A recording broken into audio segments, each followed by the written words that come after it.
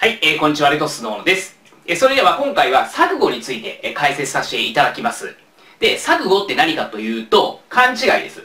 勘違いをして契約してしまった場合、後で取り消しができるっていうルールがあるんですね。まあ、これが錯誤です。まず一つ目の注意点なんですけれども、錯誤が成立する場合、取り消しができるのであって、無効ではないということですね。つまり、えー、勘違いをして契約してしまったと。とりあえず契約は一旦有効なんですよ。で、その後、取り消しができるというような流れになります。で、じゃあどんな場合でも取り消しできるのかというと、要件があるんですね。こうこうこういう理由を満たせば、錯誤を理由に取り消しができるというふうな流れになります。だからちゃんと要件というものを満たさないといけないということなんですね。じゃあ要件ってどんなものがあるかというと、細かいこと言ったら6パターン。大きく分けると3パターンあります。だから3パターンを覚えておけば、これに該当すれば、あ、取り消しできるんだなと。まあ、それに該当しなかったら取り消しできないんだなって判断できると思います。じゃあ、要件って何かというと、ここで示す通り、大きく分けて3パターンあります。1パターン、2パターン、3パターンですね。で、まあ、それぞれ2つに分かれることができるんですね。分けることができます。だから、1、2、3、4、5、6で、細かく分けると6パターンあるんですね。ただ、まあ、大きく3パターンを頭に入れておけば、あとはこの1と2のこの違いだけですね、頭に入れれば、あとは組み合わせだけなんで、6パターン、頭に入れることができると思います。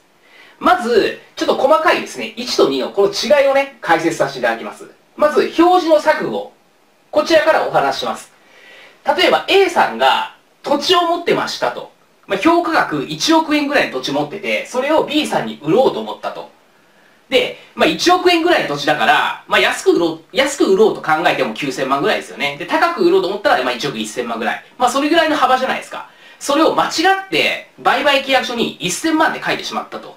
で、それで売りますよっていうふうに言っちゃった。まあ、つまり、1億円前後で売ろうと思っていたにもかかわらず、1000万で売りますよっていう意思表示をしてしまった。つまり、表示について勘違いしてるって話なんですね。これが表示の錯誤です。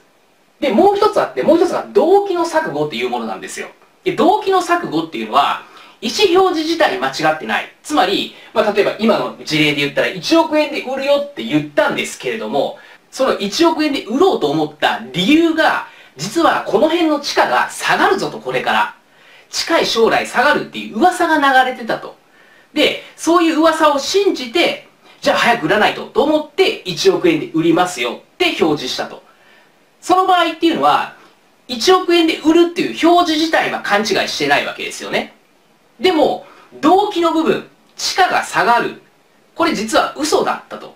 噂話で嘘だったってなると、こっちで勘違いをしてるわけなんですよね。だから、これが動機の錯誤と呼ばれるものです。まあ、二つあるんですね。二つあります。で、今の事例で言うと、勘違いした人は A さんです。つまり、錯誤に陥っている人は A さんですね。で、一方、その相手方を B さん。まあ、今回で言ったら、飼い主 B さん。これが相手方になります。で、この二つに関して、実はですね、法律の条文ではもっと詳しく書いてあるんですね。つまり、まあ、表示について錯誤がありますよと。で、さらにその錯誤というものが、その勘違いというものが、法律行為の目的、及び取引上の社会通念に照らして重要なものであるときという言葉が付け加えられてるんですよ。これがちょっとね、ややこしいんですけれども、まあ、イメージとしては、普通に考えたら、そんなことしないよねと。そういったイメージです。もうイメージ言ったらそういうこと。例えば先ほどの事例で言ったら、1億円の土地を1000万で売るって普通に考えたらしないですよね。そういったことを表しています。ただ、この言葉ですね。言葉についてはそれほど重要ではないので、まあ、あの、問題文とかで書かれていたら、その部分省略してもらってね、えー、もう構いません。つまり、法律上の目的及び、えー、取引上の社会通念に照らして重要なものであるときっていう部分は、まあ、括弧書きみたいな感じにして飛ばし読んでいただいても、全然問題ございません。これは、えー、1番、2番、どちらにも言える話です。どっちについても書かれていることがありますので、まあ、書かれていたらその部分だけ括弧すると。いった感じで読み飛ばしても全然問題ございませんので。で、まず丸1の方からいきましょうか。まず表示について勘違いがあったと、錯誤があったと。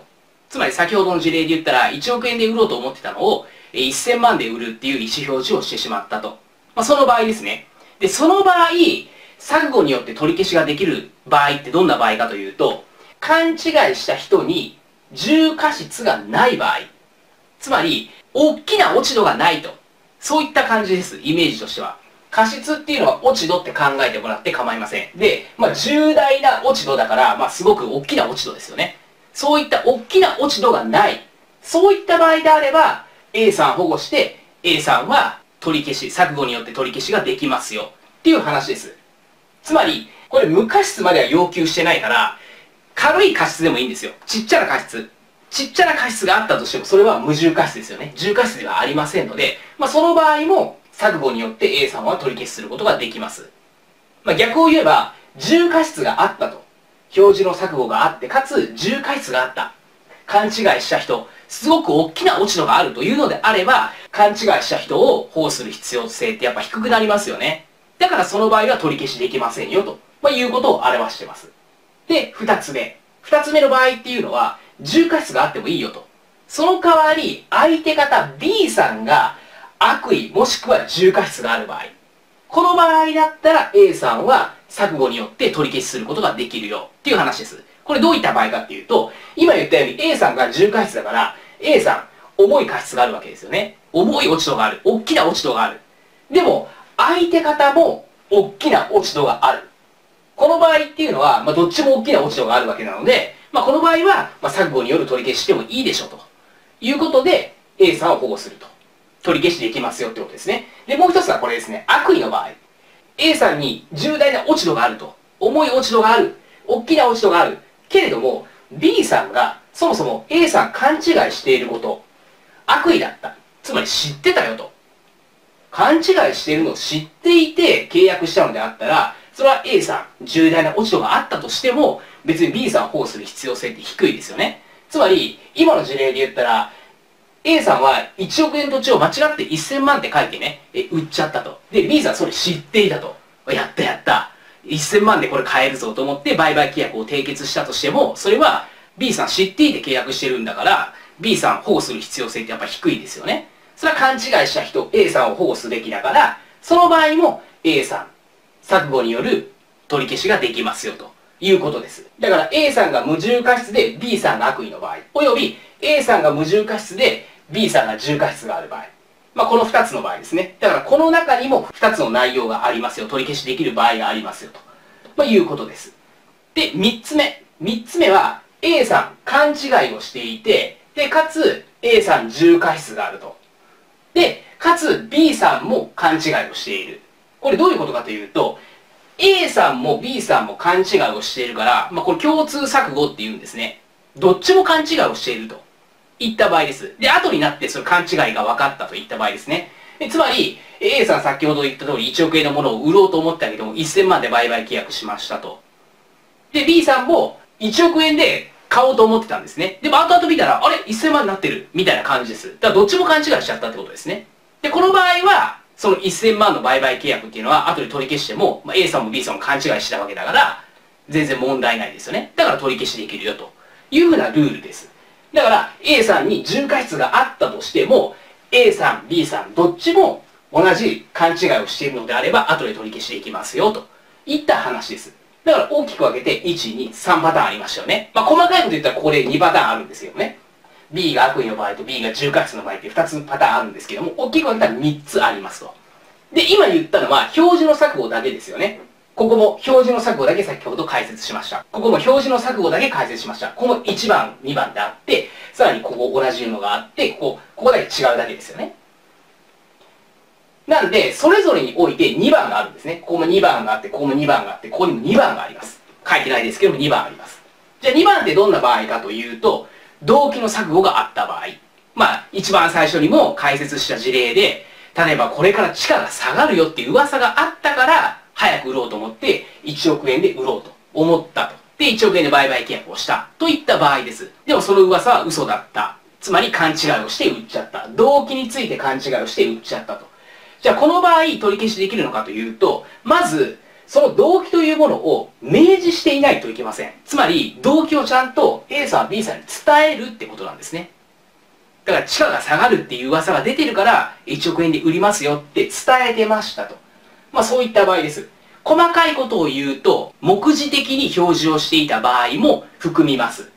目次的ってどう書くかというと、沈黙の目ですね。どうしよう。ちょっと見づらいかもしれないんですけども、目次。ここですね。目次。目次的に表示していた。つまり、ちゃんと言葉にして言わなかったけれども、その売買契約の状況から考えて、あ、この人、これから地価が落ちそうだから売ろうとしてるんだなってことが相手方がわかるような場合ですね。言ってないんですよ。A さんは B さんに表、言葉としては言ってない。また、えー、契約書にも書いてないけれども、まあ、周囲の状況だったりとか、まあ、そのご時世だったりとか、まあ、そういったことを踏まえると、これ、B さん分かってたでしょと。その動機について A さんの動機分かっていたでしょ。まあ、そういった場合も含めます。で、かつ A さんが無重過失だった場合。つまり A に重過失がなかった場合ですね。で、こっちも先ほどの内容と一緒です。動機の錯誤があって、さらにそれを明示していた。もしくは目次的に明示していて、A さんが重過失で B さんが悪意、もしくは B さんが重過失があった場合。この場合も取り消していきます。で、ここもそうですね。2番。動機の錯誤があって、それを明示してました。もしくは、目次的に明示をしていて、かつ、A さんが重過失で、で、B さんも、えー、錯誤を陥っていた。まあ、共通錯誤。A さんも B さんも勘違いをしていたと。まあ、B さんもだから動機の錯誤があったってことですね。その場合、取り消しできます。だから細かいこと言ったら、1パターン、2パターン、3パターン、4パターン、5パターン、6パターンある。で、さらにもっと細かく言うと、この2番目のパターンについては、B さんが悪意の場合と、まあ、重過失の場合、ありますので、8パターンですね。ここはプラス2パターンずつありますんでね。ここで2パターン、こっちで2パターンで、ここだけで細かく言うと4パターンありますんで、ここで2パターン、2パターンだから8パターンあると。まあ、いった感じです。ただ、大枠として、この3つですよね。この3つを頭に入れておいて、あとはここが分岐されてんだなと。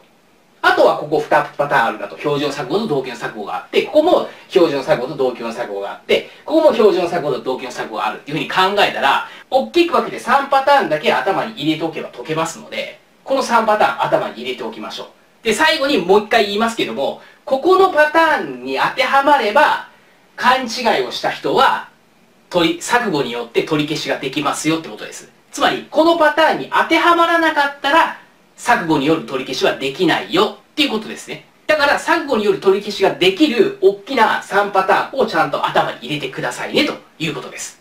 今日も最後まで動画をご覧いただきましてありがとうございました。まだチャンネル登録していない方は、上のチャンネル登録ボタンからぜひチャンネル登録よろしくお願いいたします。今日も最後まで動画をご覧いただきましてありがとうございました。宅建合格目指して一緒に頑張っていきましょう